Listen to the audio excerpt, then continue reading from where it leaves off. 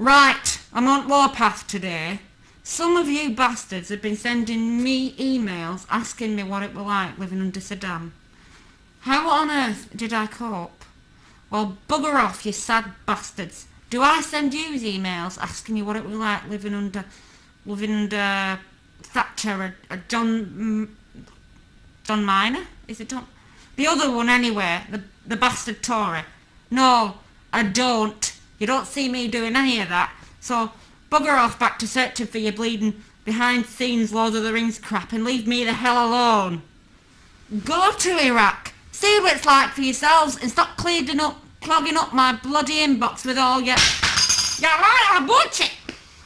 Sorry about that, the cat. Stop clean, clogging up my bleeding inbox with all your... Oh, please, S. Tell it what it was like. Tell us what it was like living under Saddam. Was he really as much of a bastard as they say he was? Go to Iraq yourselves, book a sleazy jet flight. But just remember, pack a body bag when you go. You'll fucking need it. Oh, and by the way, I've got a message for Bushlover69.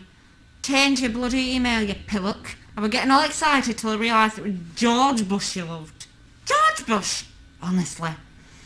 And quit telling me how much better off the Iraqis are after the invasion. You like it so much, take your bloody big fat American head out, your big fat American ass and go live there for a week.